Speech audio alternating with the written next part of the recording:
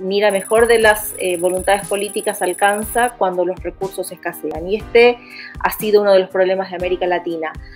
América Latina es la región, el continente más desigual, ¿no es cierto?, del mundo. Esta desigualdad tiene que ver con situaciones em, de base de la economía, pero también tiene que ver con esquemas tributarios, ¿no es cierto? La igualación eh, económica eh, se consigue mediante sistemas de redistribución y los sistemas de redistribución son tributarios, son impositivos, ¿no es cierto? Entonces, una reforma impositiva, tributaria como la que o estaba o está proponiendo el gobierno de Chile es, digamos, una condición necesaria para avanzar en mayores niveles de redistribución, ¿no es cierto?, que permitan equiparar un poco más ¿no? Eh, la brecha entre ricos y pobres.